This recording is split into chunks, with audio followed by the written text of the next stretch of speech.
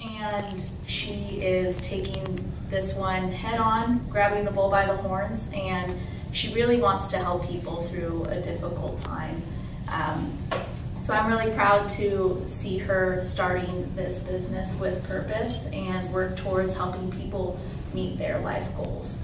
Um, something that's actually very interesting that her and I have been trying to work on together is with my, my background in family law, I see people go through a really tough process and it's my job to think critically and be the rational one and take the emotion out of it, but they're coming to me with the emotion. And I'm trying to sift through and navigate the legal, the, the legal side of things where I'll be able to work with her now and refer my clients to her um, to help her to help her clients work on navigating the emotional side of going through a difficult process and setting some personal goals for themselves in their divorce or in their custody battle or as they navigate dealing with child support.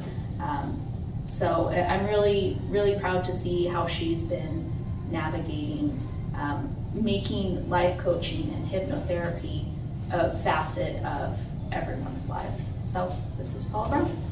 I don't feel like I need to say anything. I feel like that was it. That was good. Speech, speech. You ready? So, um, Paula Brown with Purpose Coaching and Hypnotherapy, and more to come. I'm actually in um, holistic medicine school right now, working on my master's and doctoral uh, programs. So, uh, it's a little slow going because well, my brain doesn't work as fast as it used to. Um, and I also had a really nice, I was very proud of my PowerPoint that I wanted to share you with y'all. Um, but I will email it to you and then we'll just work off of that.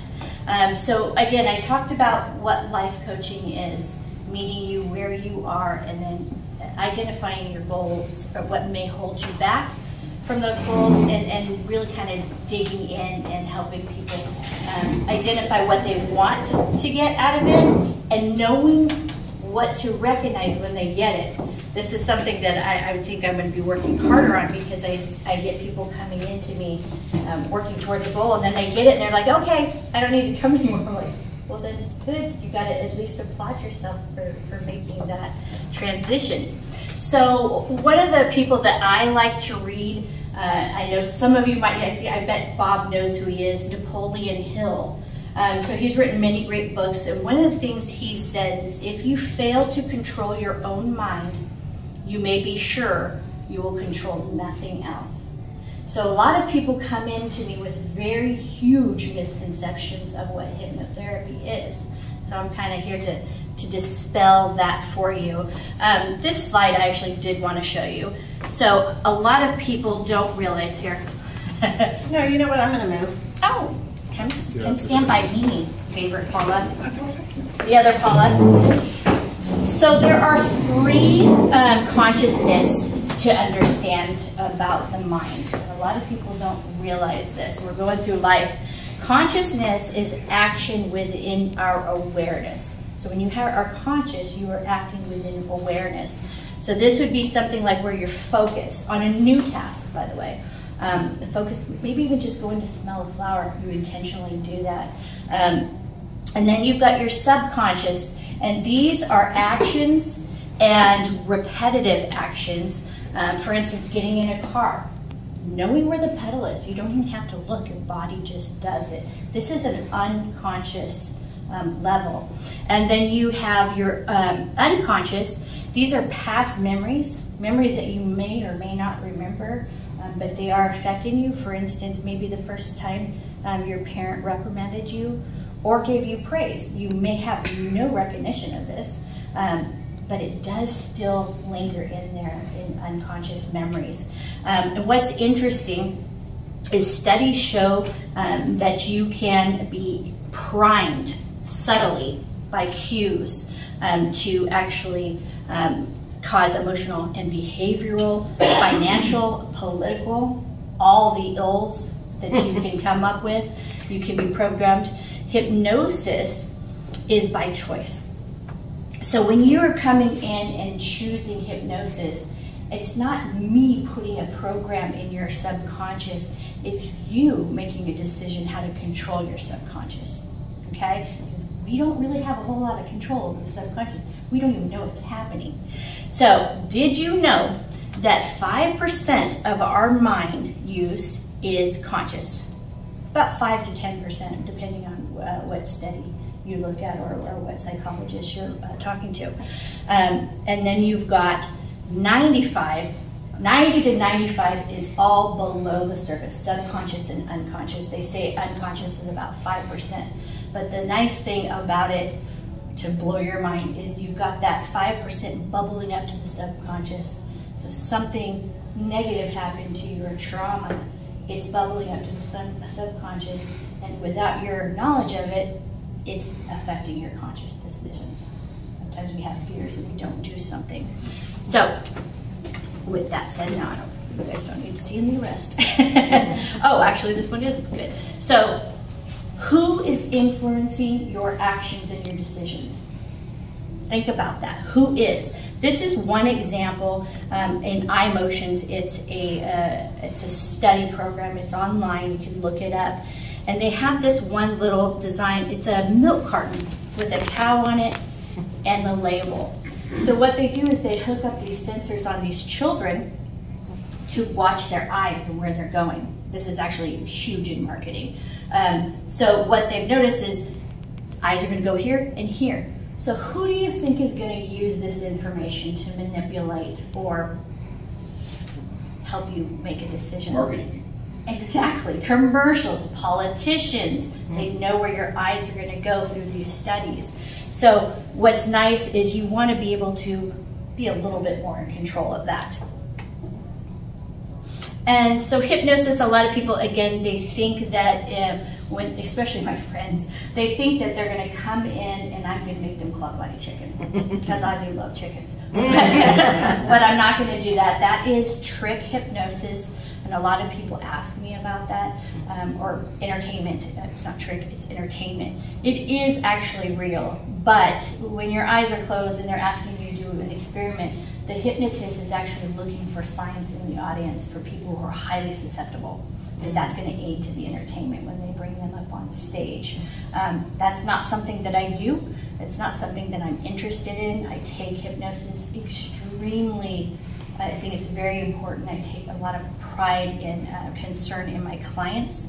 Um, I monitor them while they're under. Sometimes I kind of go in there with them too, um, just to make sure everything's okay. Because it's very important. You're, you're working with somebody's mind. And you want to be um, uh, conscious of that and, and careful. So, hypnosis is an effective way in working with the subconscious mind, taking control of what you want programmed in the subconscious for good habits or replacing bad habits. Um, I have a series this month that I'm doing um, for stop vaping and smoking. Um, I have two clients. Um, the second one is tonight, um, and they both say that they consider themselves, after one session, non smokers. But I said, well, let's do one more because they said, well, I still think about it. So let's kind of work on that. I, I recommend at least three sessions in hypnosis. Um, some hypnotherapists want you by 10 or 20. I don't think that's necessary. Hypnosis is fast. So we don't need to waste all that money. Um, does it work? I think it does if you're willing to make that change. If you come in and you're like, I don't think I want it, don't waste your money. I, I don't want that kind of money. Um, that's not going to look good for you or for me. Um, somebody who is very wanting to change a certain thing, a habit, um, then, then that's good. I also am doing the weight loss um, on Wednesday. Okay. So that's going to be my series for this month. So, um, what is hypnosis good for? I'm kind of sold. I think it's good on everything, especially if 95% of our consciousness is unconscious or subconscious. That's where hypnosis comes in. So, it's good for deprogramming, it's good for programming healthy habits, phobias, negative thinking internal healing. That one's always kind of iffy for me to say because um, I don't, I'm not a doctor yet or a doctor, um, but all dis-ease, and that's how I like to call disease, is dis-ease begins in the mind. And a lot of people get very offended when I say that. Like, I'm not choosing this. This is not something I would do to myself. But it does start in the mind. So sometimes if that's right, sometimes the body starts getting right. So I think that it's, um, I think it's very important. So I'd like to do a little demonstration if you're open to it. I'm not gonna hypnotize you, but I'm gonna do a little guided meditation. I'm sorry, Mark, I will get you later since you were videoing. Um, but if you're comfortable with it, um, if you could put your feet on the ground and hands uncrossed. I know it's weird, you want to do that for comfort. Um, I want you to focus, a lot of times we don't breathe right. She knows that. Um, we're not breathing right. We're not breathing down in our abdomen and filling our lungs or pushing it all the way out. And this is vital to getting all the oxygen to your, to your uh, vital organs and things like that. So if you can, just close your eyes. And I want you to, you're going to take deep breaths in. You're going to fill the lungs and the abdomen, and you're going to hold it at the top of your breath for three seconds. And then you're going to let it out with a, if you can. I'm to do this three times.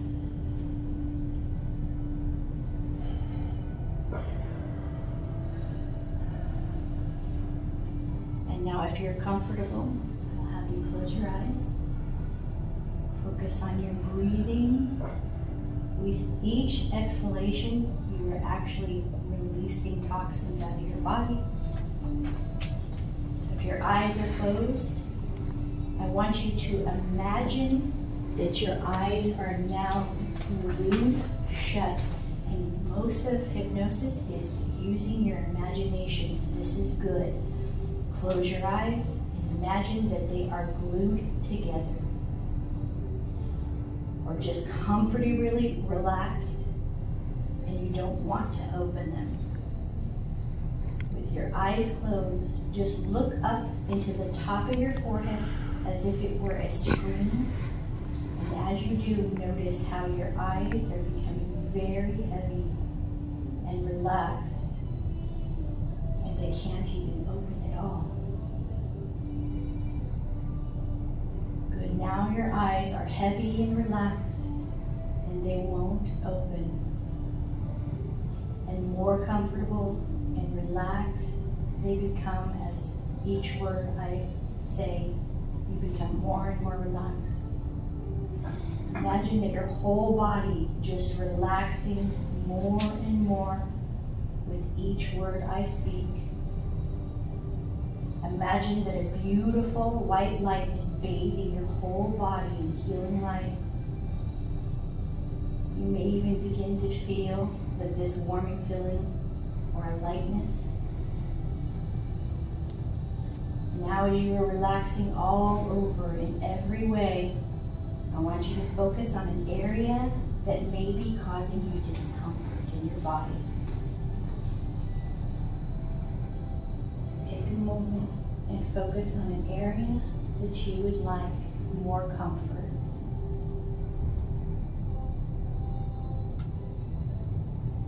I want you to imagine the light is going to this area. It is giving it nurturing light. It is calming and soothing it, giving it love and healing. Imagine that this area is being bathed in healing, relaxing light. That any discomfort you have in this area is just going away.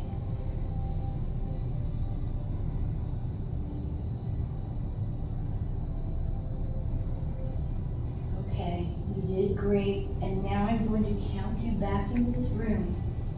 But before I do, I want you to know that this area you are in control of it. You have the healing power. All of our bodies have this healing power. And when you open your eyes, you will feel happy, calm, relaxed, and positive about the day, the weeks, the months, and years to come. One, two, three, four, and five, wide awake.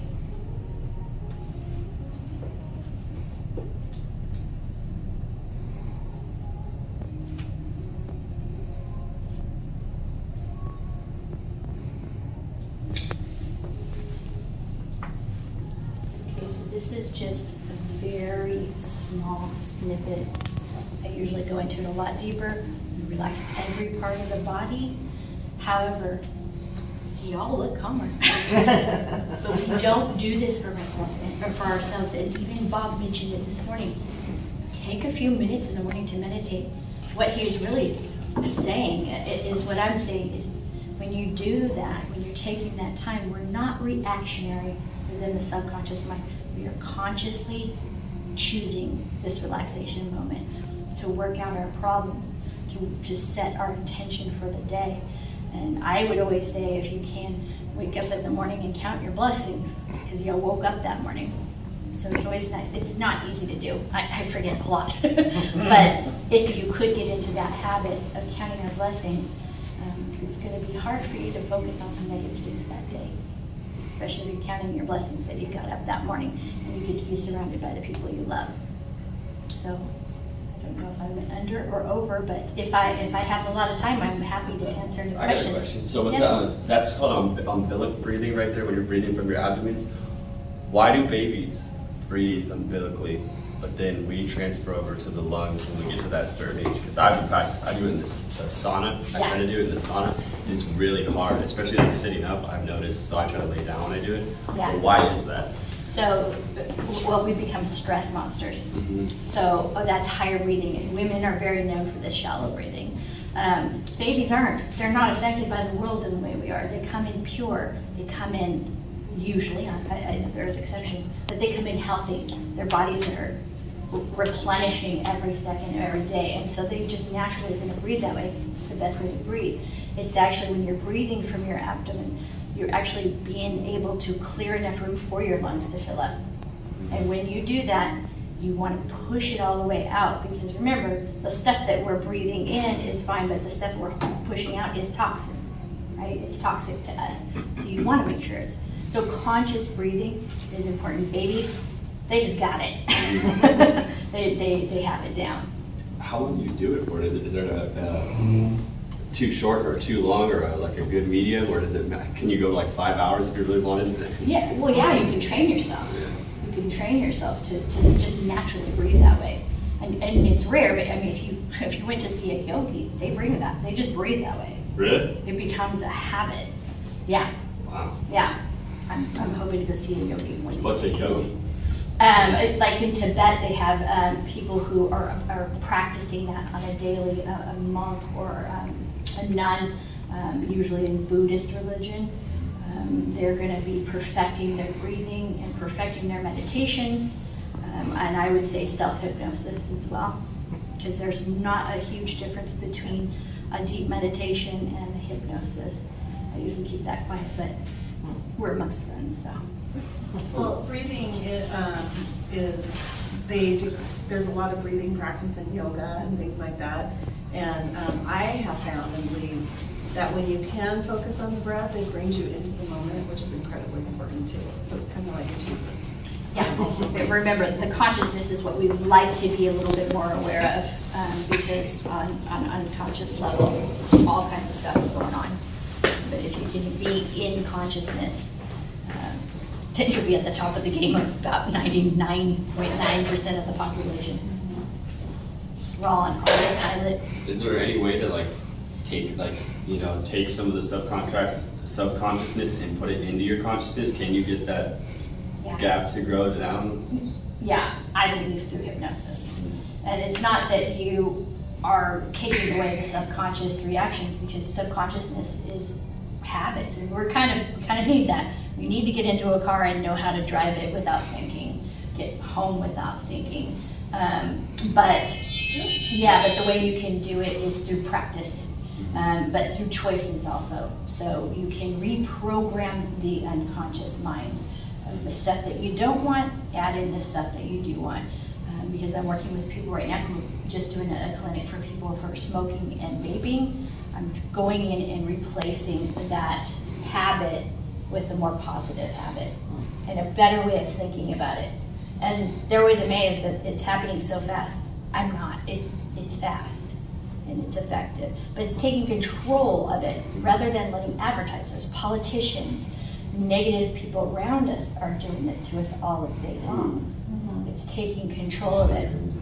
So, I have a, a question. I've done a lot of work with things about trying to be aware of what, when you feel a negative feeling, like, and, and learning to identify where that's coming from in your body.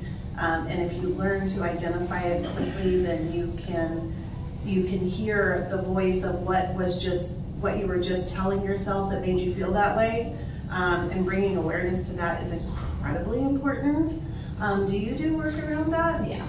And I would almost say that it starts more in the mind Yes. and then goes to the body. Um, so negative thoughts throughout the day, what I always, and, and, and believe me, it's hard. It's, it's, since I've been doing this, I've gotten better even. Um, but when you have a negative thought, this is a consciousness thing again. When you have a negative thought, because that can be unconscious, to consciously look at it. Look at it. You're the observer. We have this ability, I believe, in the soul and, and the spirit. Um, we have this ability to look at what we're thinking. We're the only animal on earth that we know of that can do this, to actually look at our own thoughts. Look at those thoughts and change them. It's, I know it sounds like I'm saying it's easy, it's not. But look at it. I, I'm thinking about something that's going wrong today, my bank account, whatever. No, I'm going to choose a different, a different thought. I'm going to choose abundance. So I'm going to change that negative into something positive. And once you're doing that over and over again in your life, being conscious of it, it starts to become a habit. And you notice that things start coming to you, flowing to you. Um, I, I'm a big prayer. I like prayer. I think that that's a good way to get to that. Um, meditation. And then, of course, I think hypnosis is a quick way to get to it. Um, I, that, I don't know why that just reminded me. I did this guided visualization yesterday that was, um, you know, you see somebody smiling at you, so you visualize that, and then you actually see yourself smiling at you, at yourself, and just the feeling that when visualizing that, that came up was so much more intense, and then brought the smile into your body for healing and chakras and different stuff like that. It was So she kind of brought up a really good point. So our, our brain, I know I'm going over, I apologize, but our brain, and this is all fairly new uh, neuroscience, but our brain has cells, they're called mirror neurons. And this is the cool, I'm sorry, I'll geek out on this, but this is the coolest thing. So these mirror neurons in our brain will actually tell us whatever we think, feel as we're closing our eyes and thinking about something, our brain has no idea that it didn't happen. Our brain thinks it did happen. So this is really cool. This is some a tool that we can use. Um, there was a study, I think it was at Chicago, Illinois, I told you about this. There was a study, um, a psychologist and a coach got together. They split their team into three different teams. Um, one was actually practicing for many hours a day shooting hoops, perfecting their hoop shooting. Next group was only visualizing it for many hours a day, feeling it. This is the key. Getting your body, feeling this fact that you jumped, smelling the smells of the court, hearing the sound of it going through the hoop, okay? Then the third group got time off for a month. They didn't do anything. So what they found is the group that practiced, they improved by 24%. I think it was 24, 25. 24 or 25% they improved. That's huge for a king, right? And then the group that visualized, 23%. They didn't do anything except with their mind, and they improved 23%. Of course, the group that did nothing, there was no improvement. In fact, it was a little decline. Um, but that's almost the same. That's because we have neuron, neurons that um, mirror neurons that we can actually think about something, our body and our body will react, and our mind actually believes that it happened. Our heart's different. Our heart actually does have brain neurons as well. Um, that's more true. Brain can lie, heart can't, but at least we don't think so. Um, so, so if you want something, visualize it, but feel it in every way. See what you want to see. I like to have people stand in front of a mirror and look at themselves and see what they want. If it's a healing, if it's um, a, a losing weight, it, it, whatever it is, but see it, feel it, smell it, touch it, get all the senses involved, and that has more power. The more senses you have, the more power. That's one thing we can do in visualization or hypnosis is I can actually go, okay, now smell it. I worked with a gal yesterday. She's gonna go into a family reunion. She's very nervous about it because she has some conflict with somebody.